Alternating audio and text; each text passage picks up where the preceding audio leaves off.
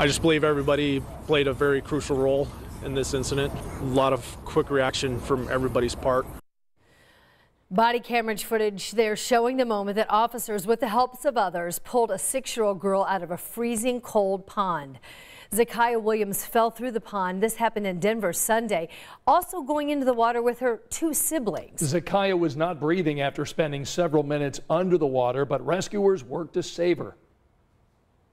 They saved my baby, and I just want to tell them I really want to thank them for saving her. Come on, honey. There you go, honey. When I seen them on the video performing their duties, you could see the passion and emotion in them by what they were saying. Come on, baby. Come on, baby. Yes. Come, come on, sweetheart. Come on. Like they were talking to their own children. Well, Zakiya and her family met the rescuers to thank them, including a neighbor who also jumped into that icy water. Mm, glad she's okay. Yeah, love that Yeah. happy ending there.